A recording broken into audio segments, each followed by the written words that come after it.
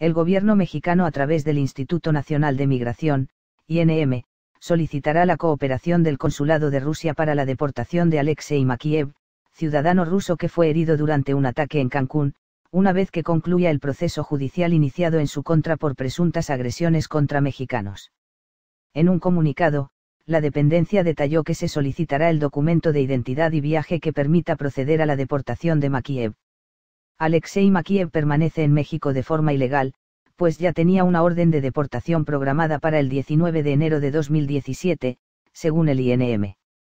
El ciudadano ruso fue presentado el 15 de diciembre pasado ante migración en el municipio de Benito Juárez, Cancún, Quintana Roo, para atender diversas denuncias derivadas de su comportamiento agresivo.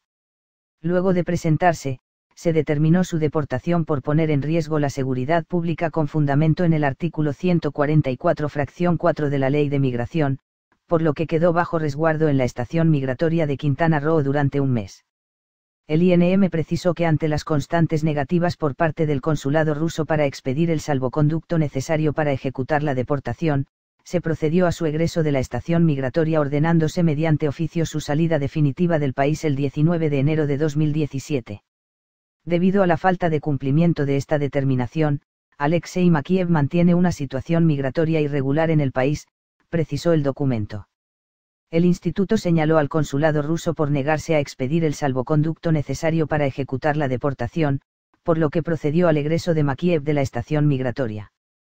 Ordenándose al extranjero, mediante oficio, su salida definitiva del país el 19 de enero de 2017. La falta de cumplimiento de esta determinación lo mantiene en una situación migratoria irregular en el país, añadió. El INM indicó que solicitará al consulado el documento de identidad y viaje, necesario para proceder a la deportación del extranjero.